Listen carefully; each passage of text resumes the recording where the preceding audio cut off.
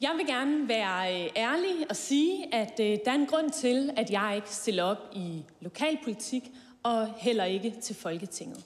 Jeg vil ikke politik for politikens skyld. Jeg vil EU-politik.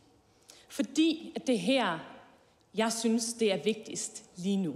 Og det her, jeg gerne vil smøge ærmerne op og øh, lægge alle mine kræfter. Som samfund står vi nemlig over for nogle udfordringer, som vi ikke er alene om, men som bedst kan løses i fællesskab med vores europæiske naboer. Derfor passer vi bedst på Danmark, når vi sidder med ved bordet i EU og har indflydelse på de fælles løsninger.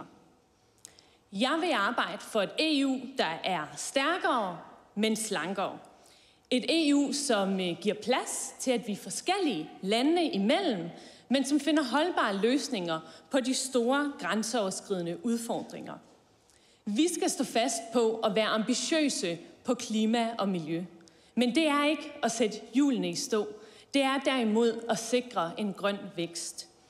Vi skal stå fast på, at handel er hjørnestenen i vores samarbejde, og vi lever af vores konkurrenceevne.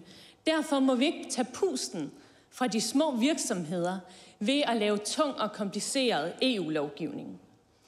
Vi skal også stå fast på, at det frie Europa, som vi gerne vil have, det kræver, at der er styr på de ydre grænser. Og det er det, jeg gerne vil arbejde for. Og her til sidst, så, øh, så kan vi jo lige så godt sige tingene, som de er. Til valget, der får vi nok valgt Morten, og vi får nok også valgt Søren. Og det skal vi være rigtig glade for, for de er rigtig gode. Men der skal også være nogen til at holde de to handelefanter i ørerne.